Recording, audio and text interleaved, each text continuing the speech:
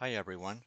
In this video you will learn how to model moving heat sources using a customized Drag and drop a module of We will transient create the geometry, the set up the model, and and, open the geometry results. cell in SpaceClaim. If you want to know how to install this ACT on Workbench, go to the description of this video. Drag and drop a module of transient thermal to the workspace and open the geometry cell in SpaceClaim. We will create the plate first. Draw a rectangle from center and use the pull tool to generate the solid. Now draw the pipe. You can use the upper surface of the plate to do it. After that, we use the split tool to cut the body as required.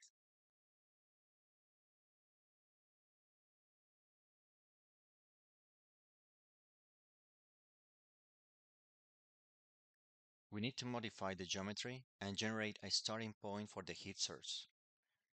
Try a different approach if needed.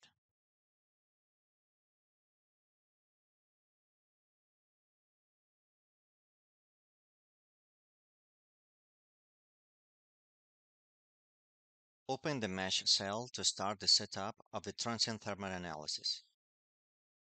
In this case, we don't need to create contacts because of the use of shared topology. Create the mesh refining on the edges at the interfaces.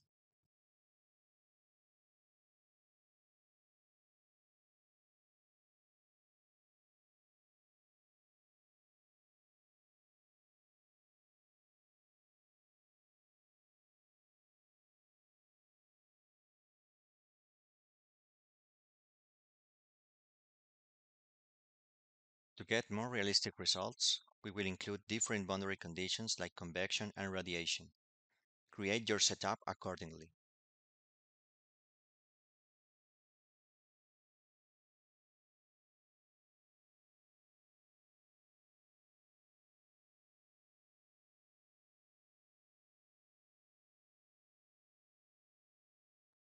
If you prefer, create one or more name selections to simplify the selection of the surfaces.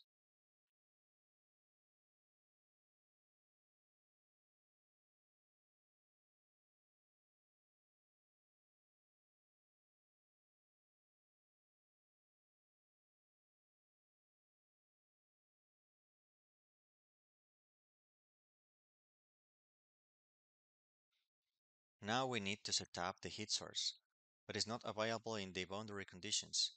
We must enable the ACT first in the ACT start page.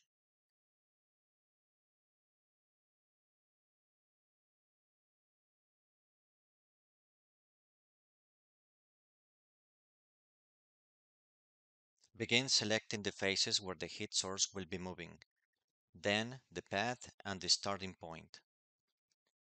For the complete circular path, we will use two heat sources. Select the speed and the radius of the beam, and finally the time. Repeat the same process for the second heat source, but keep in mind the time sequence.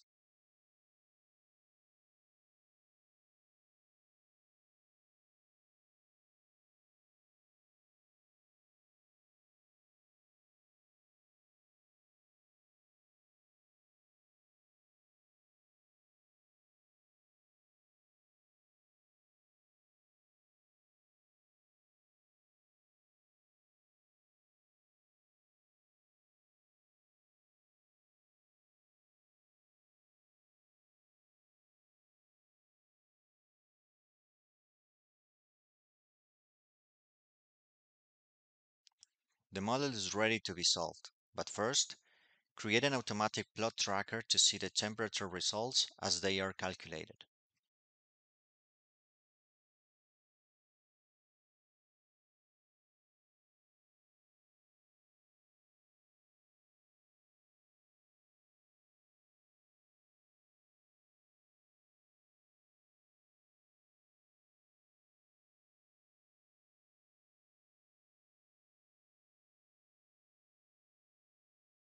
Finally, create a contour plot and assess the results.